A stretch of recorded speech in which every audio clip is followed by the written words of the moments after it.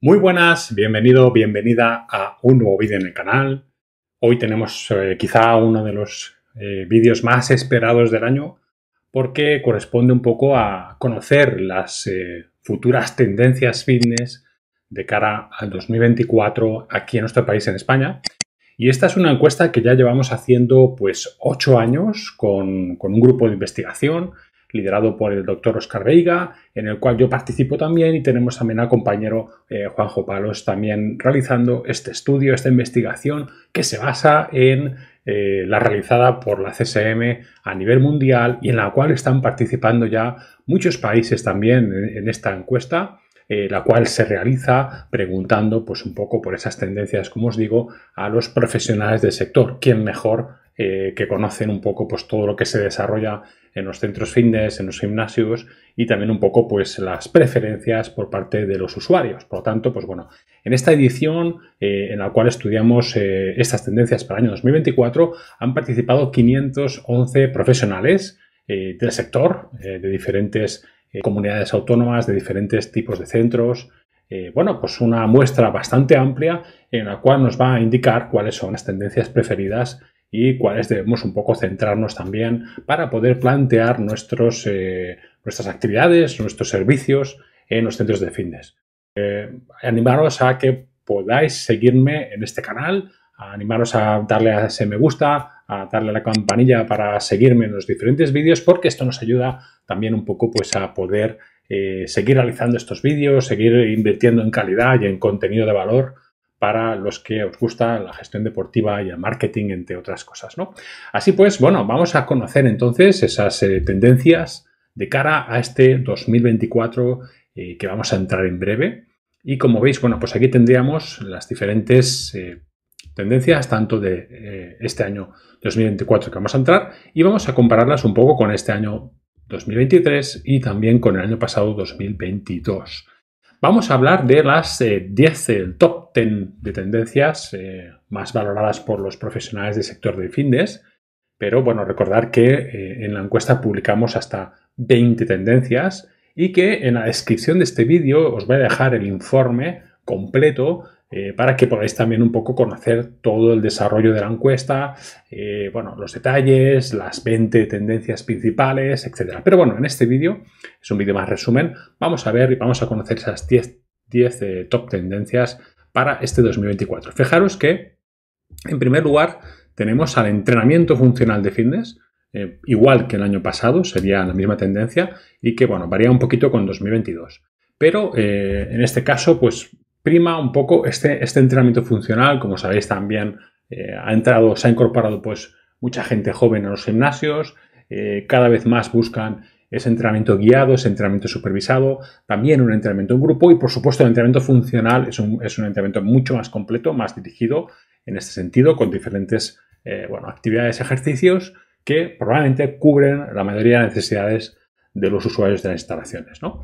Bien, en segunda posición recuperamos la contratación de profesionales certificados en detrimento de el entrenamiento personal en grupos o el entrenamiento funcional del 2022. Esta, esta tendencia a contratación de personales certificados tenéis que entender también que es muy importante para, nuestro país porque bueno, busca también un poco esa regulación, busca también esa eh, supervisión profesional eh, y por, eh, y por personas también certificadas, cualificadas eh, que, den, unas garantías de servicio a los usuarios y por eso es muy importante también que los usuarios entiendan que es muy importante que los entrenadores, las entrenadoras tienen que estar tituladas y que tienen que estar también eh, cualificadas de una manera profesional. De ahí la importancia también que el propio sector entienda y reconozca que necesita de profesionales eh, certificados, de, de profesionales cualificados, que den sobre todo una garantía y que den una seguridad a todas aquellas personas que bueno, pues acceden a lo que es el entrenamiento y a la práctica de actividad física. Para evitar el intrusismo y para evitar también las malas praxis que luego pueden ocasionar lesiones o que pueden ocasionar también eh, incidencias y perjuicios en, los propios, consumidores. Recordar que las, eh, bueno, lo que, lo que, podamos producir por mala praxis o por mala ejecución en el, en el entrenamiento, bueno, no lo vemos a corto plazo, lo vemos a medio y largo plazo y por eso quizá no le damos tanta importancia, pero sí que es importante eh, que el entrenamiento sea eh, supervisado y guiado por profesionales cualificados, certificados y a poder ser también colegiados. Bien, la tercera, la tercera tendencia sería el entrenamiento personal en pequeños grupos. Fijaros que, bueno, aquí también es muy importante, ¿no? Ese, este concepto de poder entrenar en, grupos reducidos, de poder entrenar también con esta, esta guía, con esta supervisión y eh, poder ofrecer un, entrenamiento de calidad que permita conseguir los objetivos de nuestros usuarios. ¿eh?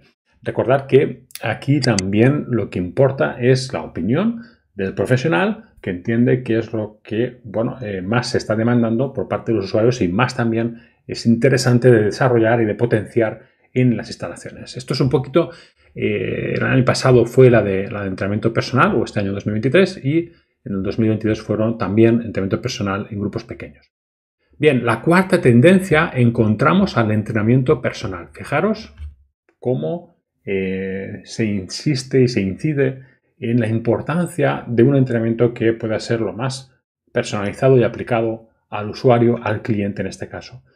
¿Por qué? Porque es muy importante eh, conocer al usuario, satisfacer sus necesidades y adaptar los entrenamientos a sus objetivos. Y de ahí la importancia ¿no? de poder también personalizar el entrenamiento y eh, poder también hacerlo de forma personal. En, eh, este año 2023 fue la de profesionales mm, certificados, el número 4, y eh, coincide con la de 2022 que fue entrenamiento personal.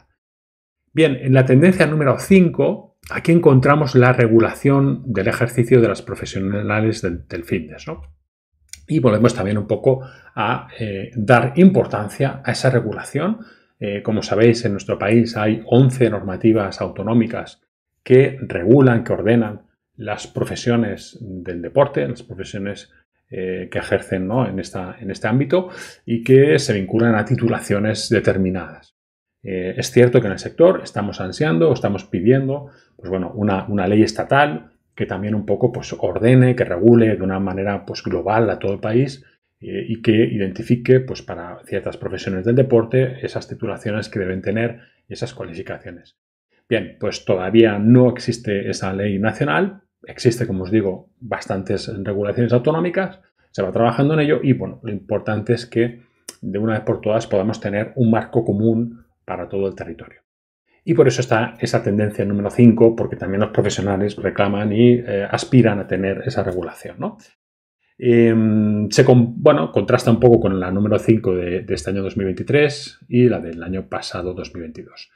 Sin embargo, bueno, en la, en la, tendencia número, en el top 6 tenemos eh, programas de ejercicio y pérdida de peso, que aquí coincide con, este año 2023, la importancia, ¿no? Todavía mucha, muchos clientes, muchos usuarios, pues tienen como objetivo esa pérdida de peso, ese, bueno, ese balance, ese equilibrio también a nivel Em, de su metabolismo y de su condición física. Recordar que es, eh, bueno, el sobrepeso eh, y la obesidad es, un, bueno, pues es, una, es una cuestión muy importante para, el país, muy importante también.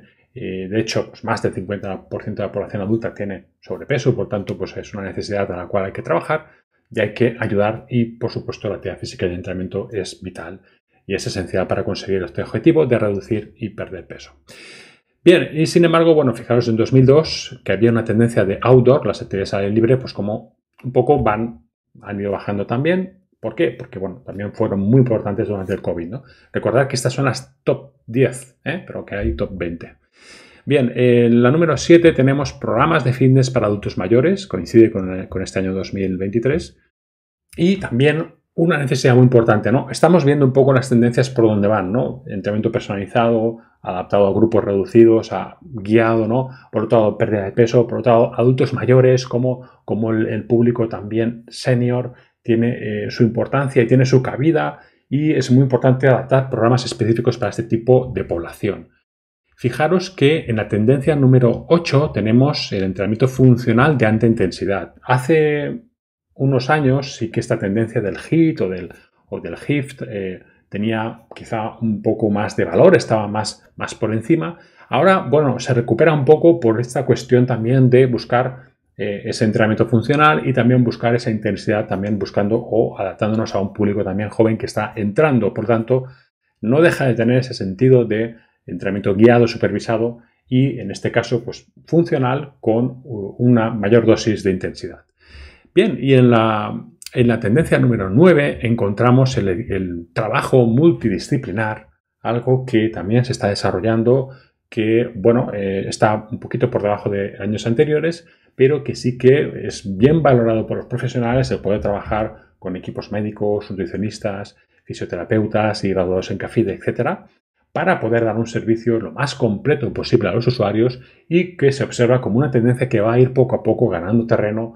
Hablamos también de receta deportiva, hablamos de ejercicio y medicina, hablamos de recomendación y prescripción. Entonces, bueno, ese trabajo multidisciplinar es muy interesante que lo podamos también contemplar en nuestros centros deportivos y que podamos contar también con otros profesionales para, eh, insisto, desarrollar un servicio integral y completo para nuestro usuario. Bien, y em, el top 10, eh, en el último lugar, en ese top 10, tenemos el entrenamiento de fuerza basado en pesos libres. ¿no? Aquí el entrenamiento con peso libre también es muy interesante. Otros años también tenía su importancia eh, y este año se encuentra en esa posición número 10. Eh, también a tener en cuenta, también a considerarlo y poder ofrecerlo en nuestros centros deportivos. De hecho, bueno, esas zonas de peso libre, pues como sabéis, también están muy, muy completas, se utilizan eh, pues, eh, muy a menudo y también hay un público bastante amplio que quiere desarrollar este tipo de entrenamiento. Bueno, pues hasta aquí. Estas serían las 10 tendencias para este 2024. Como veis, pues bueno, tienen algunas coincidencias con años anteriores. En otros, en otros casos, pues bueno, se incorporan algunas, van subiendo, van bajando, pero en definitiva, quedaros con estos objetivos, ¿no? Entrenamiento guiado, supervisado en grupos reducidos, entrenamiento personalizado adaptado a cada nicho o a cada segmento de población, en el cual se incorporan también adultos mayores, se incorpora la pérdida de peso, se incorpora también entrenamiento de fuerza y, bueno, en definitiva, pues intentar cubrir eh, esos objetivos que tienen las personas hoy en día para mejorar su condición física y su bienestar. Bueno, em, os dejo como, como, os he comentado al principio, en la descripción del vídeo tenéis eh, el enlace para poder acceder a la información completa eh, de este informe de tendencias para 2024. Eh, bueno, os agradezco ese like, ese seguir en el canal y bueno, pues nos vemos en el próximo vídeo. Un saludo, chao.